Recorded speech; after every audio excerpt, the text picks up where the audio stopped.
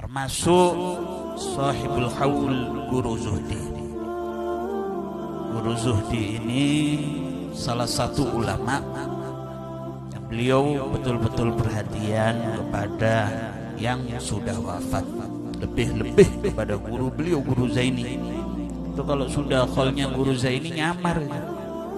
Nggak duduk di depan nggak ini bantu-bantu di luar. Ini ketawaduan guru Zuhdi. Ketawaduan mukhlis. Tidak peduli siapa pun yang datang kepada beliau diterima. Mulai yang kaya yang tua, yang muda, yang miskin bahkan maaf-maaf preman datang ke rumah beliau diterima.